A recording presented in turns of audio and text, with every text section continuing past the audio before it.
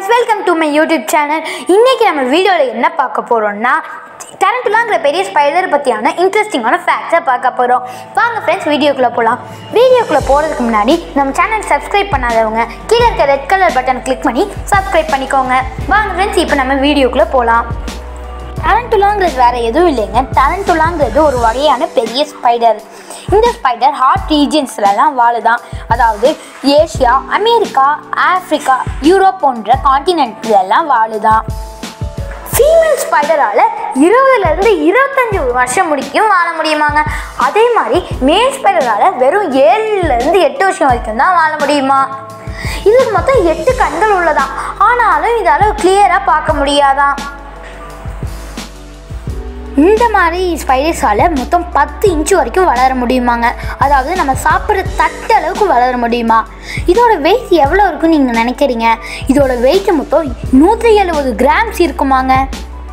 இந்த மாதிரி ஸ்பைடர்ஸ் எதெல்லாம் சாப்பிடும்னா பூச்சி வண்டு வெட்டுக்கிளி சில சமயம் பெரிய பூச்சியான லிசார்ட் ஸ்னேக்ஸ் வவ்வால் சில சமயம் குட்டி குட்டி பறவைகளை கூட சாப்பிடுமாங்க இதோட எனிமி இந்த தாக்கம் வந்துச்சுன்னா இதோட முடிய வெப்பனாக யூஸ் பண்ணுவாங்க. நம்ம எல்லாத்துக்குமே தெரியும் பாம்பு தன்னோட மேத்தோலை உரிச்சுக்கணும். அதே மாதிரியே தரண்டுலா ஸ்பைடரும் தன்னோட மேத்தோலை குறிப்பிட்ட ஆண்டுக்கு ஒரு வாட்டி உரிச்சுக்குமா.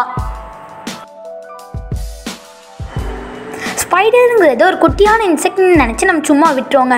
ஆனால் அதில் மொத்தம் எட்நூறு வகைகள் இந்த உலகத்தில் இருக்காங்க.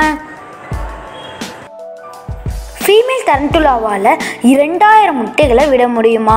அந்த ரெண்டாயிரம் முட்டைகளும் ஒன்றுலேருந்து மூணு மாதத்துக்குள்ளே பொறிஞ்சிருமா நான் இப்போ சொல்ல போகிறத உங்களால் நம்பவே முடியாதுங்க.